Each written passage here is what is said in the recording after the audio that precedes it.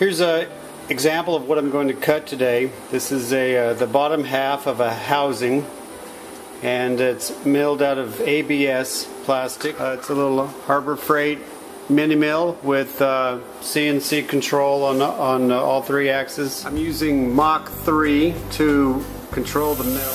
Here we go.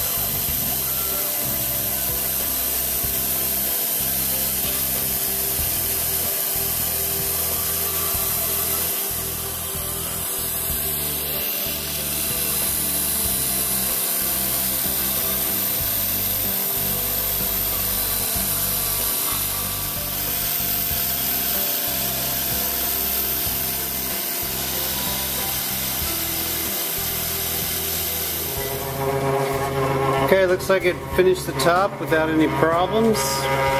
The, this side of it, and uh, we'll flip it over and finish the back.